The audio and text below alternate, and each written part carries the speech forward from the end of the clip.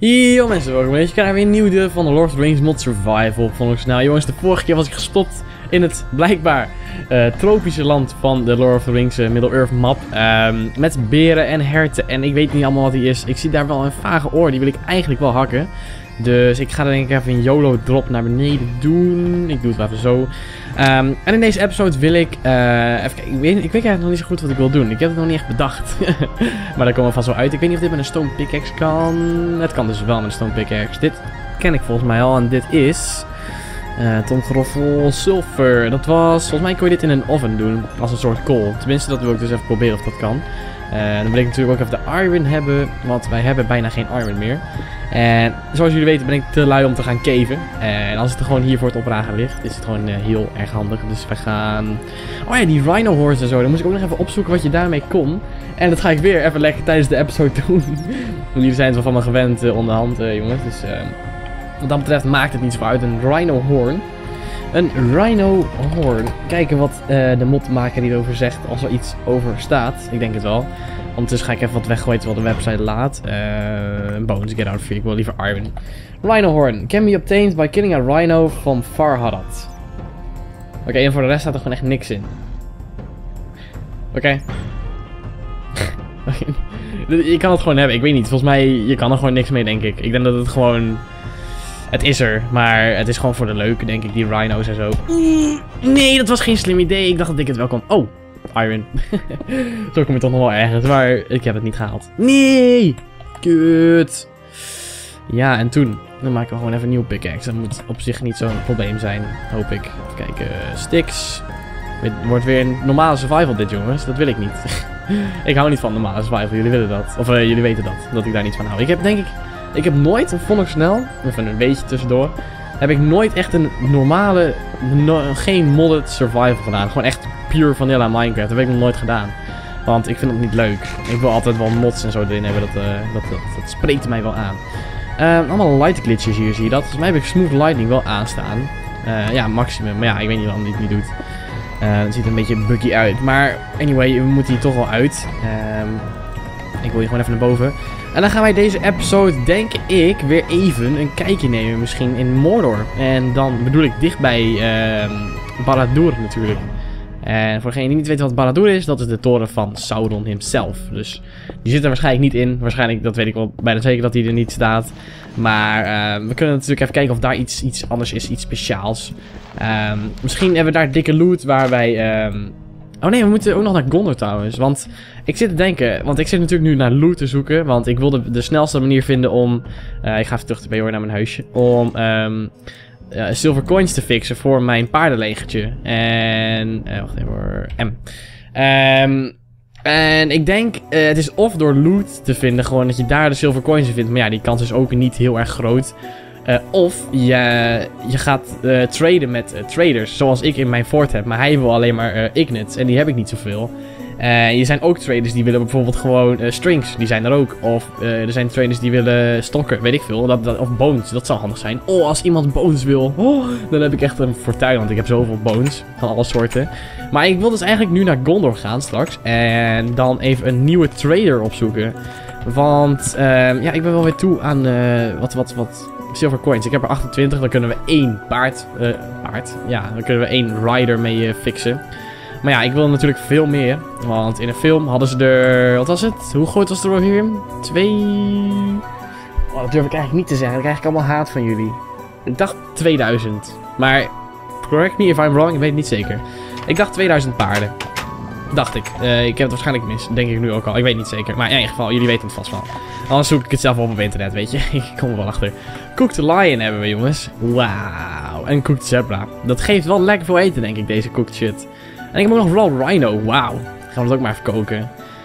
Oh ja, en ook nog raw pork chop. Oh my god, jongens, ik heb gewoon genoeg eten. Want ik wou al zeggen net, um, dat stukje daar, Far had dat, neer had dat, is gewoon, um, zeg maar, het, het etens... Hoe noem je dat nou? Het wonder. Nee, hoe noem je dat? Het, laat maar zitten. Ik had er een naam voor, maar ik ben het vergeten. Um, anyway, uh, zit jij nou los? Nee, jij wordt gewoon weggeduwd. Wat sneu. Uh, ik wil eigenlijk even een shovel maken, want die hebben wij ook nodig, gewoon. En eigenlijk moet ik weer deze episode weer, weer gaan graven. aan mijn, um, aan mijn uh, grachtje. Maar ik moet dan iron... Ja, ik heb iron. Waarom smelt ik de iron niet? Wat voor downy ben ik? Oh my god. No offense voor downies, maar dat voel ik me. Um, ik moet natuurlijk mijn grachtje uitgraven. Maar op zich dacht ik bij mezelf van... Dude, een 2 bij 2 grachtje... Dat houdt niet echt enemies tegen. Dus uiteindelijk moet die gewoon nog groter. Maar ja, uh, als ik dat helemaal wil gaan doen... Dan ben ik echt heel veel episodes verder. Maar het kan natuurlijk. Uh, het hoort ook gewoon bij survival om je huisje een beetje mooi te maken. Uh, ik ga in ieder geval dit een beetje glad maken dat het een beetje mooi overloopt. Niet dat het ineens zo naar beneden valt. Uh, want dat andere fort, ik had eigenlijk beter had ik het andere fort kunnen kiezen. Maar ja, ik heb nu al dit fort geclaimd. Want dat andere fort staat volgens mij meer vrij. En deze stond, voordat ik hem had uitgegraven, stond hij hier uh, half in het uh, dirt. En dat was niet zo, dat ziet er niet mooi uit. Dus dan moet ik hem helemaal uitgraven en zo. Eigenlijk moet je gewoon een fort vinden die bovenop een heuvel staat of zo. Dat zou ideaal zijn. Nou, ik heb in ieder geval dit een beetje vlak gemaakt. Het loopt hier nu wel echt heel self-made af. Gewoon echt niet natuurlijk. Maar ja, we doen het er maar even mee. Uh, dan moet ik dit straks allemaal op gaan vullen met water. En ik denk dat ik dit even mijn uh, dirt hier ga droppen. Want ik vind het een lelijk gat. En dan droppen we dan even alle dirt in. Dan ben ik het ook weer kwijt. Dirt is eigenlijk alleen goed voor iets opvullen. Of als je ergens naar boven moet of zo. Dat je op blokjes, dat je blokjes nodig hebt om erheen te gaan. Serious, waarvoor is dirt anders goed? Ja, farmland. Oké, voor farms. Maar nog iets, maybe? Ik weet het niet. Trouwens, nu ik het woord farm zei, zit ik te denken, hè. Ik heb de hele tijd gezeik met eten. Maar wat nou als ik gewoon een, een, een grote of een, een degelijke farm kan fixen, hier ergens naast of zo. Dat zou op zich al mijn problemen wel oplossen qua eten. Dat ik gewoon hier ergens naast een klein boerderijtje maak, een klein klein, of een schuurtje kan ook. En dat ik daar een farm naast zet. Dat is wel een leuk ideetje eigenlijk. En dan wil ik eigenlijk de farm uh, op zo'n berg hebben. Dat ziet er, of op zo'n heuveltje. Dat ziet er mooi uit. Als dan het wheat uh, gaat groeien. Als het dan helemaal vol staat, dan ziet het er mooi uit. Alleen het is wel irritant om het dan te harvesten. Dus dat gaan we maar gewoon niet doen. Ik doe het wel ergens hier dan. Maar dat is weer een ideetje voor een volgende episode, jongens. Dus moeten jullie mij ook even aan herinneren. Dat ik dat uh, ga doen. Ik ga nu even al mijn eten ophalen. En dan gaan wij, jongens, naar Gondor toe. Ik ben benieuwd. Ik ben er nog niet geweest. Ja, ze wel een stukje van Gondor. Maar niet in Gondor zelf. Dus dat dacht ik. Ik heb vet veel eten en iron. En ik alles, ja. Oh, wauw, ik heb nog 13 cooked zerbla. Oh my god, ik heb niet... Oh, wacht. Ja, ik moet ik even de sulfur erin doen. Oh, volgens mij kan het... Ik weet niet of het kan. Volgens mij kan het wel. Maar, nou, ik laat hem gewoon even zo staan. Uh, mijn zwaard is bijna kapot, zie ik nu ook weer. Nou, dan moeten we maar even met een iron sword doen. Die heb ik ook nog. Dus wij gaan niet langer wachten. En ik ga naar Gondor toe. Uh, Gondor, right here. We zijn al in Harondor geweest, dacht ik. Volgens mij was het daar. Of in Ithilien. Nee, in Harondor waren we geweest. Of nee, Lebanon waren we geweest, sorry. Daar waren we geweest. En ik wil nu even kijken in... Dit zijn Gondor Hills. Dat vind ik wel leuk eigenlijk. Ik denk dat ik een beetje hierheen ga. En dan ben ik heel benieuwd. Krijgen wij hier nog een achievement voor? Ja, The Kingdom of Men. Gondor natuurlijk is de hoofdstad van Middle-earth. En ik span naast een beacon fort. Oh my god, dat kon niet beter. En dit ken ik niet. Volgens mij... Ik hoop dat dit een blacksmith dingetje is. Is dit een blacksmith home? Please, waar is de deur? Ja, blacksmith. Yes, we hebben een blacksmith gevonden van Gondor. Nice, daar ben ik heel blij mee. Uh, die gaan we zo aanspreken, want hier kun je ook dingen ruilen en verkopen. Dus dat is heel handig. Hello, trade. Kijk, je kan hier dus Gondor in chestplate kopen en zo. Blacksmith hammer, bla bla. En Gondorian dagger met benen van arthropods 1 en knockback 1 hebben we echt niet nodig. Maar ja, dat is wel een beetje jammer. Hij wil alleen maar Ignits en Coal. Dat wil ik liever niet, want Ignits hou ik liever zelf. Tenminste, kopper eh, en, en brons dan niet, maar... Um, en coal heb ik ook nodig, dus nee, jij bent niet echt handig voor mij. Dammit. Maar, we hebben hier een beacon tower en die is ook veranderd, zie ik. Nu hebben ze van die banners erop gezet, dat ziet er echt heel vet uit.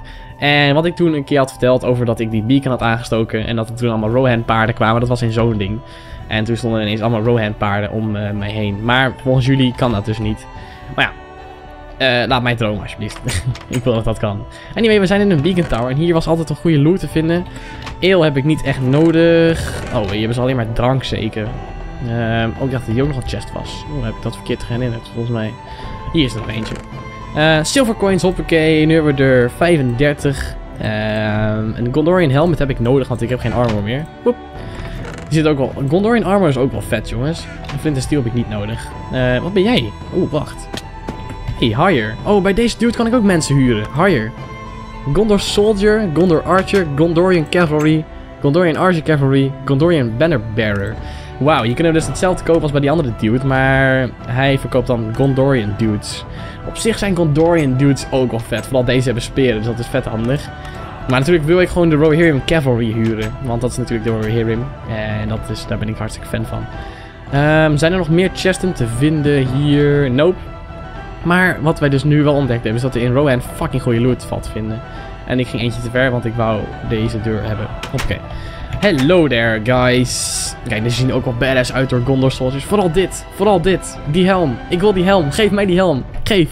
Hallas, de Gondor Archer. I hope to see the glory of Gondor restored someday. Daar ga ik voor zorgen, bro. Don't worry about that. Ehm nee, dit is hem niet. Dit is een beacon tower alleen. Ehm eigenlijk moet ik even slapen. Maar ja, ik heb hier geen bed. Dus ik ga maar gewoon verder reizen. Ik wil nog een eh, Gondor Blacksmith vinden. Want daar kun je dus echt inderdaad super chill ruilen. En dat ga ik nu gewoon even opzoeken. En dan kijken of er nog meer gebouwtjes zijn. Ik zie vet veel pigs, maar die heb ik allemaal niet nodig eigenlijk. Want ik heb al fucking veel eten. Ik heb nog eh 13 cooked zebra en eh, 12 cooked lion, 6 cooked rhino en nog 7 cooked pork chop. Dus voor nu is mijn eten even gefixt. Dus die farm is nu ook nog niet nodig. Maar dat gaat straks toch weer op. Oh, er wordt gevochten. En ze hebben gewonnen. Gondor soldiers zijn echt sterk volgens mij. Ik weet niet of er een verschil zit in sterkte van Gondor en... ehm, van Gondor soldiers en Rohan soldiers. Ik weet niet of Gondor dan iets sterker is, dat weet ik niet. Volgens mij spannen jullie net allemaal serieus. Wauw. Om dan even die dude af te slachten. Ik ga helpen. Eh, ik wil de laatste hit hebben. Oh, sorry. Oh, nou, misschien kan ik me er beter niet mee bemoeien, anders dan sla ik weer iemand knock-out of zo. Ehm, ik ga gewoon verder rennen en ik hoop snel weer een blacksmith te vinden. Want dit bedoel ik dus jongens, hier kwam ik hier eigenlijk, want ik wil traders vinden. En dat zijn hier de blacksmiths en hier staan heel veel orks, zie ik. Wauw. En koeien. Zo verleidelijk om de koeien te killen, maar ik heb al veel eten en anders moet ik nog meer eten meenemen. En dat is niet echt handig, maar ja. We lopen wel gewoon door. Ik heb geen zin om met hun te vechten. Nee, ik heb toch al genoeg eh, alignment. We moeten hem weer van Gondor zetten trouwens. Hoppakee. Plus 204. Oeh, ik zit net over de 200. Nou, dat is in ieder geval mooi dat we over de 200 zitten. Vol- Volgens mij kon ik daarom ook ruilen met die dude. Oh nee, dat is 150 natuurlijk. No, dit is niet eerlijk. 2 tegen 1. Ik pak er één, brah. Ik pak er één. Oh, teamwork. Box. Wie is het? Findulas. Gondor is not as great as it once was. Ik weet niet. Het is een beetje... Nee, het is niet meer zo mooi. En weer Wolf hier. Ben ik nu nog mijn wolvenlegertje, jongens, niet zoveel episodes geleden. Wauw, dat was echt sick. Hopelijk kan ik ooit nog een keer zo'n leger fixen. En dan gewoon Mordor inlopen met al die wolven. En dan gewoon, yo. ik ga jullie allemaal helemaal kapot maken. Want je kan er gewoon niet tegenop. Waarschijnlijk zijn wolven gewoon nog beter dan Gondor soldiers. Maar ja, dat is maar even voor het eh, ideetje. Hallo, ik ga jullie helpen. Auw, ja, ik moet natuurlijk niet Gondor soldiers slaan. Ik ga me daar gewoon niet mee bemoeien. Want straks sla ik een Gondor soldier. En dan, eh, dan gaan ze mij ook allemaal aanvallen. Dat moet ik natuurlijk niet hebben. Want dan ben ik hier niet meer friendly. En dat wil ik wel. Ehm, ik denk trouwens dat ik heel erg geluk heb gehad met die blacksmith. Want dat ik erbij spannen. Want ik zie er nu niet echt weer eentje. Dus ik weet niet hoe ver ze uit elkaar liggen. Maar ik zie eigenlijk niet echt weer iets. Goddammit, waarom niet?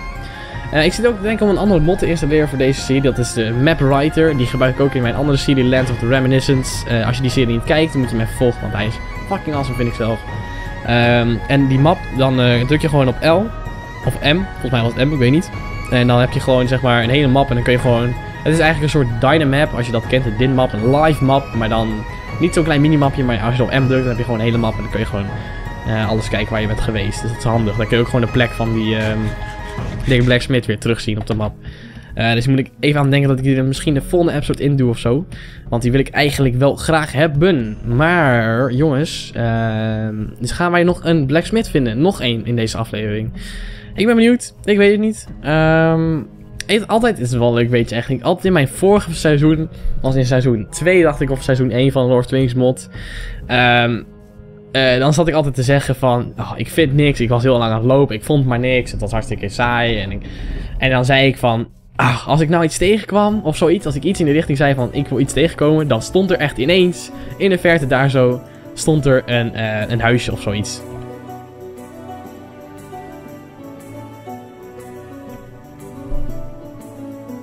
Dit is gewoon echt eng.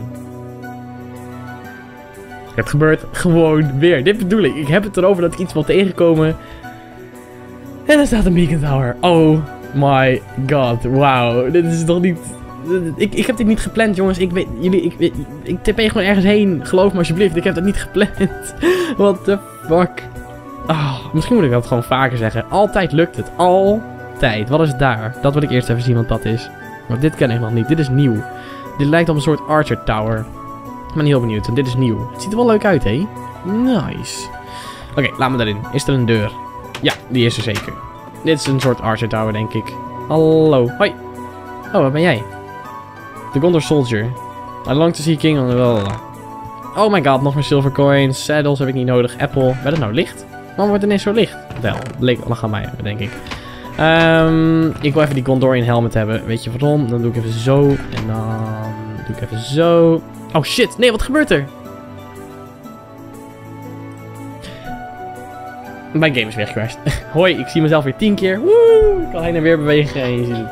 In ieder geval jongens, dit is dan ook weer het einde van deze episode. Ehm, blijkbaar crasht mijn game soms als ik iets met items doe. Ik weet niet waarom. Waarschijnlijk is nu een van die helmen weg. Dat gaan we even heel snel uitvinden. Waarschijnlijk is een van die helmen nu weg. Nou ja, ik moet eerst altijd even mijn shaders uitzetten als ik in game ga. Want die staan altijd aan standaard. Ik weet, niet, ik weet eigenlijk niet waarom. Is mijn helm nu weg? Uh, ja, een van de helmen is nu weg. uh, in ieder geval, jongens, dit was weer het einde van de episode. Uh, wij zijn er nu in Gondor en ik ben heel blij dat ik hier ben gegaan. Want hier is nog heel veel te ontdekken. Dus dat wordt in ieder geval fucking awesome. Als je deze video leuk vond, doe dan sowieso even een blauw duimpje omhoog. Dat helpt mij ook heel erg. En jongens, ik zou zeggen, wow, er zijn twee beacon towers hier. In ieder geval, ik zou zeggen, bedankt voor het kijken. En ik zeg, later.